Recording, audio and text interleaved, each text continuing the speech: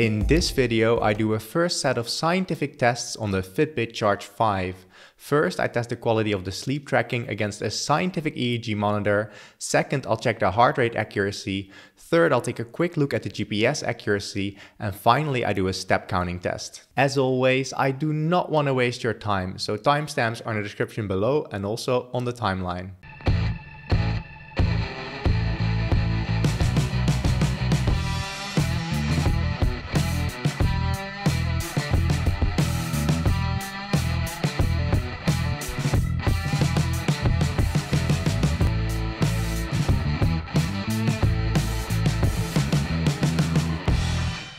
Hello everyone. For those of you that are new to the channel, my name is Rob and I'm a postdoctoral scientist specializing in biological data analysis. In this video, I test the most important features of the Fitbit Charge 5 that are available upon release. Specifically for the sleep test, I'll compare the Fitbit Charge 5 against two EEG devices. For the heart rate tracking, I tested it during 4 spinning sessions, 8 bike rides, a skateboarding ride and 3 weightlifting workouts. I tested the GPS while cycling and finally I tested the step counting by taking exactly 4000 steps. The Fitbit Charge 5 has a number of additional features like breathing rate, heart rate variability, skin temperature and sleep oxygen saturation measurements. And I plan to test most of these features in a future video. Finally, the Fitbit Charge 5 also has an electrodermal activity sensor and an electrocardiogram or ECG sensor. Unfortunately, these are not yet enabled by Fitbit at the time I'm recording this video. However, my channel is not so much about listing features. Instead, on my channel, I try to test the accuracy of these different measurements. Over the last few weeks, the Fitbit Charge 5 has been the most highly requested tracker to test. In the video today, I'll do a set of scientific tests, and since I'm in a unique position to test the accuracy of the sleep tracking algorithm, I want to start off with the sleep test. For the sleep comparison, I wore the Fitbit Charge 5 to bed for 5 nights. And at the same time, I also wore either this portable scientific EEG device or this consumer EEG device. And I also recorded myself using an infrared camera. The EEG devices can actually measure your brain waves and muscle movements and are therefore ideal for measuring your sleep stages. Now normally I would just use this scientific EEG device called the ZMAX for which I can access the raw data and manually evaluate the individual nights. Now I have two reasons for also using this second EEG device called the Dreem 2 headband. First of all, I've had the ZMAX for about 3 years now and the battery seems to be losing some of its capacity. So for a significant amount of the nights, the battery dies before I wake up. So to ensure I had enough data for this video, I also used the Dreem 2 for some of the nights. The second reason for using the Dreem 2 headband is because I want to expand the sleep testing by also having other people test smartwatches while they sleep. However, they need to wear an EEG device as a reference, something like the Dreem 2 headband, which is easy to use. In a scientific paper it was shown that the Dreem 2 seemed to work really well. However, to get a feel for how well it works on myself, I want to start using it during some tests. Now, I manually went through the recording of the scientific EEG device and scored each part of the night for the different sleep stages. I also loaded the data from the Fitbit and Dreem 2 EEG device into the coding language I use. Now, to the results I obtained. Let's first have a look at the accuracy over the two nights that I used the scientific EEG device. We will start by looking at the two individual nights, after which we will calculate some statistics. Here you see the first night I recorded. On top you see the sleep stages as they were recorded using the EEG device. Along the horizontal axis we have the time of night, and as you can see I went to bed around 1. On the vertical axis we have the different sleep stages, that being deep sleep, light sleep, REM sleep and awake. The sleep stages are plotted in the same order as they're usually displayed in research. On the bottom you can see a similar plot, but now for the sleep stages as they were recorded using the Fitbit Charge 5. If we first look at deep sleep according to the EEG, which I marked here in purple, we see a decent overlap between the Fitbit Charge 5 and the EEG device. The Fitbit Charge 5 detected both of the deep sleep segments I had, however it also detected some extra deep sleep later in the night that I did not really have, as you can see right here and right here. Next, looking at light sleep, marked here in cyan, we see that most light sleep detection was okay, since most of what was light sleep was also detected as being light sleep. If it was confused, it seems to be mostly confused with deep sleep. Now REM sleep detection was pretty good. In total I had 4 REM sleep segments and the Fitbit detected 3 out of 4 of these. It missed the first shorter REM segment and part of the last REM segment was confused with awake time. However, all in all this is not bad. To see the sleep cycles, I added non-REM sleep in blue and again marked REM sleep in red. Each sleep cycle starts with a combination of deep sleep and light sleep together called non-REM and always end in REM. I would say that based on just the data from the Fitbit Charge 5, I would be able to see most of the sleep cycles, I would only miss the first one. Now awake detection marked here in green was okay. The Fitbit Charge 5 detected both awakenings, however it did detect a lot of extra awake time that was not really there. Now this is the second night I recorded. The problem with this night was that the EEG device stopped recording after about 6 hours since the battery ran out. So we're missing the end of the night as you can see right here. Looking at deep sleep, we again see that all of the deep sleep I had was detected, however a lot of extra deep sleep was detected near the end of the night. Light sleep detection again is pretty good, though some light sleep was detected as being deep sleep. Now REM sleep detection was really good for this night with almost all REM sleep correctly being detected as being REM sleep.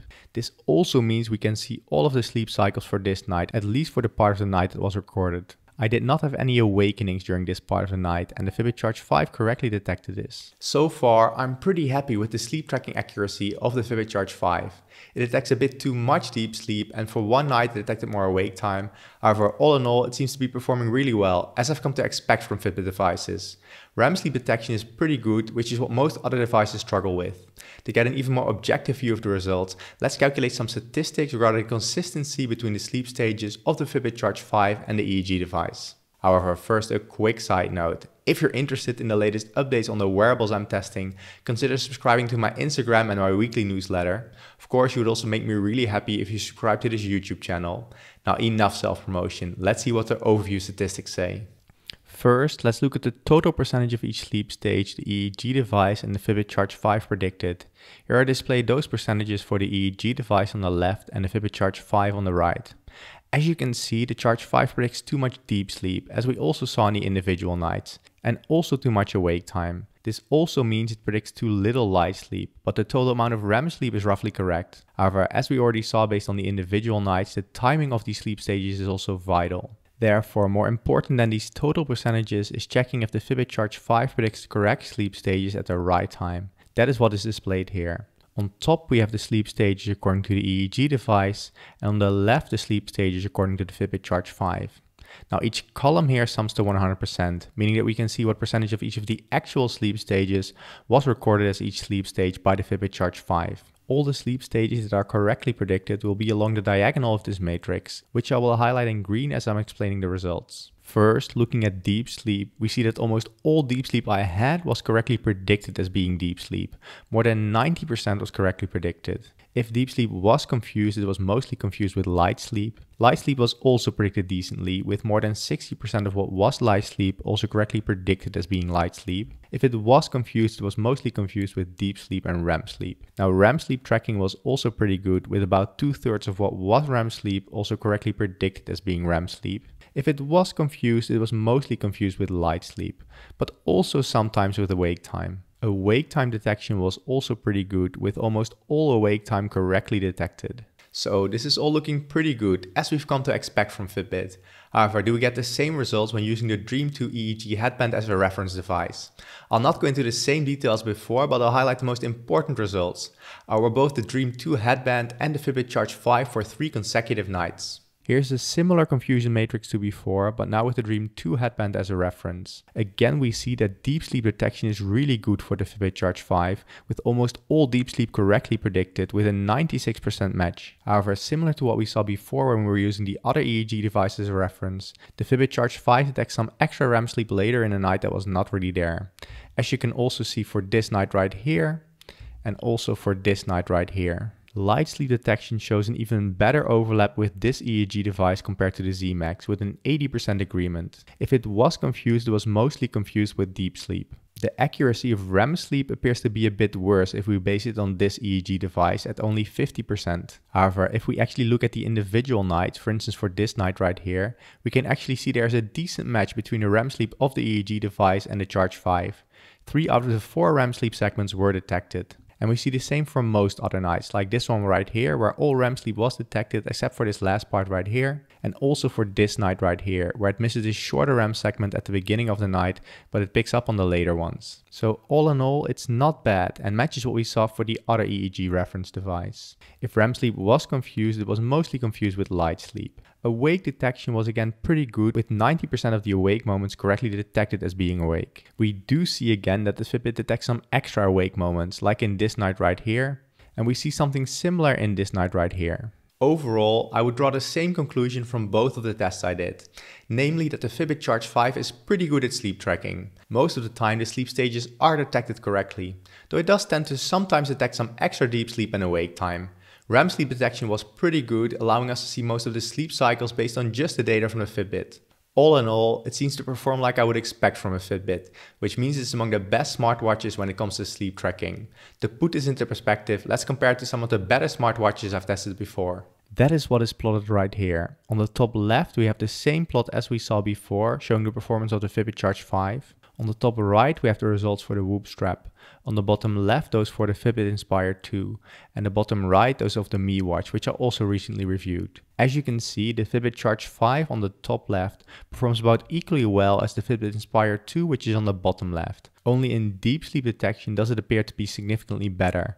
However, I tested the Inspire 2 for many more nights, so it could be that the nights of the Charge 5 are not completely representative. On the top right, we have the Whoop strap, which is actually one of the best devices at detecting REM sleep, which is important for seeing your sleep cycles. The percentages for the Charge 5 are slightly better than those of the Whoop strap. However, the Whoop strap is definitely amongst the top 3 brands of sleep trackers I've tested so far. Fitbit tends to be ever so slightly better and the Withings Sleep Analyzer also performed really well. I should mention that I used dozens of nights to test the Whoop strap and only two nights for the Fitbit Charge 5, at least for the data displayed in this plot, so more testing of the Charge 5 is needed. For the next set of tests, let's take a look at the heart rate accuracy of the Fitbit Charge 5. To test the heart rate accuracy, I'll compare it to the Polar H10 ECG chest strap, which is generally considered one of the most accurate consumer devices available for heart rate measurements. I wore both the Charge 5 and the Polar H10 ECG chest strap for 4 spinning sessions 8 bike rides, 1 longboard ride and 3 weightlifting sessions.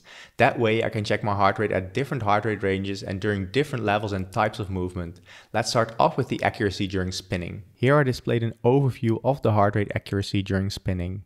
Each dot here is a single heart rate measurement with along the horizontal axis the value according to the Polar H10 ECG chest strap and along the vertical axis the value according to the Charge 5. The blue line indicates perfect agreement, so any measurement along this line had roughly the same value for the Polar H10 and the Charge 5.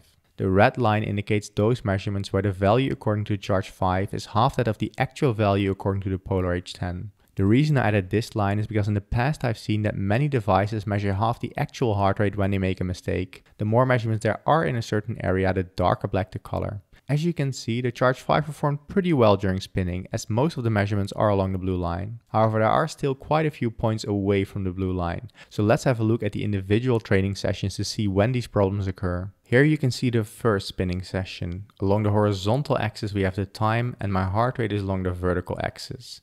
In blue I plotted my heart rate according to the Polar H10 ECG chest strap and in red is my heart rate according to the Charge 5. As you can see, I took four short breaks in the spinning session where my heart rate would dip. For this first spinning session, you can see that in general, the Charge 5 and the ECG chest strap agree pretty well. However, there are some moments throughout the session where the Charge 5 shows sudden spikes in my heart rate. For this second spinning session, the disagreement is much larger. There often appears to be a delay in the Charge 5 picking up an increase in my heart rate, and there are also spikes in my heart rate sometimes. Now this third spinning session is again a lot better with very good agreement. However, this fourth and final spinning session again shows quite a few issues. Overall, the results during spinning are definitely not bad, however there are better devices out there as well. Next, let's take a look at cycling outside, which I recorded while cycling to and from work. If I cycle outside, there are many more bumps and I also tend to sweat a bit more in the sun, which might also influence the accuracy of the Charge 5. Let's take a look. Here we see an overview of those measurements, similar to before. As expected, the deviation between the Charge 5 and the ECG chest strap is now a lot bigger. Both below and above the blue line do we see more deviations. Let's take a look at some of the individual bike rides to see why this is. Here we see the first bike ride. Again in blue is the polar chest strap and the red line is the Fitbit Charge 5. As you can see the overall pattern in heart rate mostly matches, however there are definitely some significant deviations. We see something similar for this second bike ride. The overall pattern sort of matches, but there are significant deviations. And we also see that for this third bike ride, which is arguably a bit better. Overall, we see the same pattern for all of the bike rides. The general slow patterns in my heart rate match, however the individual peaks and dips in my heart rate are mostly missed by the Charge 5. Next, I want to briefly look at a longboard ride. This involves slightly less movement and bumpiness compared to cycling, so I expect this to be slightly better. That is indeed what we see. Most of the peaks and dips in my heart rate are matching between the Charge 5 and the ECG chest strap. So tracking my heart rate during longboarding appears to be a slightly easier task for the Charge 5 than bike rides. To close off this section, I want to look at weightlifting. Now, weightlifting is notoriously difficult for wrist-worn devices because during weightlifting, I flex the muscles and tendons near my wrist, and this makes it hard for the watch to accurately detect sudden changes in my heart rate. Let's take a look. This is the overview of my heart rate accuracy, similar to before, but now for weightlifting. Of course, the average heart rate is much lower during weightlifting than during cardio workouts. As you can see, in the lower heart rate ranges, there's a pretty good agreement between the chest strap and the Charge 5. However, in the higher heart rate ranges, there are many points below the blue line, indicating that the Charge 5 detected a too low heart rate. Let's take a look why this is. Here we see an example weightlifting session. Again, in blue is my heart rate according to the chest strap, and in red is my heart rate according to the Charge 5. And you can see there's a pretty big disagreement between both devices. The Fitbit Charge 5 is not able to pick up on the increases in heart rate that accompany each set that I did. We see the same in this training session right here, where it was able to follow the overall patterns, but not the peaks in my heart rate that go with each set of the exercises I did. And we see the same for this final session right here. The overall patterns mostly match, but the peaks are missed. Overall, the heart rate accuracy of the Fitbit Charge 5 seems to be okay. It mostly follows along with the chest strap during spinning and it was okay during longboarding. However, it really struggled while cycling and during weightlifting. While I was cycling outside, I also recorded my route using the Charge 5's built-in GPS. Now I'm working on a way of quantifying the GPS accuracy, however this is still in the works. In this video, I just want to briefly show you how well the GPS signal was acquired and how well it followed along with the roads. Now these are the recordings for the 8 bike rides I did. I always initialize the cycling just before biking to or from work. This means that I did not give the Charge 5 extra time to acquire the signal. Now for 6 out of the 8 bike rides it was able to acquire the signal quite quickly. However for 2 out of the 8 bike rides it missed any signal for most of the ride. Now when it does get a signal, it does appear to be pretty decent at staying true to the actual roads that I cycled on. It did not deviate much from the actual route I took. All in all, looking at this route in its entirety, this is not looking too bad. However, as I said, I'm working on ways of better quantifying this. I was thinking about using trajectory similarity calculations using dynamic time warping. However, if you have any thoughts on how to best test this, leave it in the comments below. The Charge 5 also features a step counter. To see if this counts my steps accurately, I went out and took exactly 4000 steps in segments of 1000 steps. To get an accurate step count, I manually counted my steps using this tally counter. Let's take a look at the results. As I mentioned, for the step counting test, I went out and took 4 times exactly 1000 steps.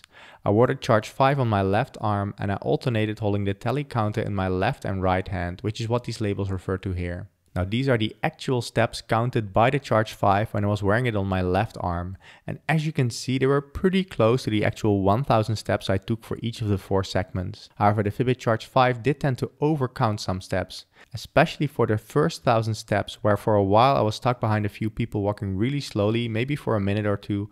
It did really overcount my steps. Just to put that into perspective, here are the steps counted by two Mi Band 6s I wore at the same time. As you can see, both of these performed slightly better than the Charge 5, though they also tended to overcount my steps. Now I have to mention that Fitbits are notorious for overcounting steps, especially during activities that are not supposed to give you any steps. For instance, while riding in a car or riding on a bike. This is something I still want to test in the future.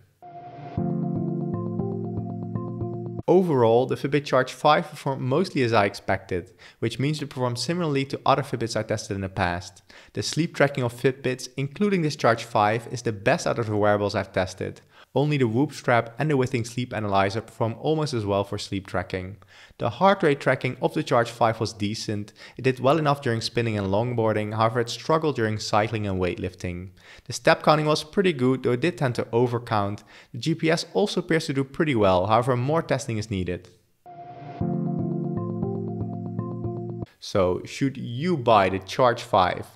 Well, in general, it's a pretty decent all-round tracker. Especially if your focus is on sleep tracking, I would really recommend it. If your main focus is on heart rate tracking, it's not terrible, but there are definitely better trackers out there.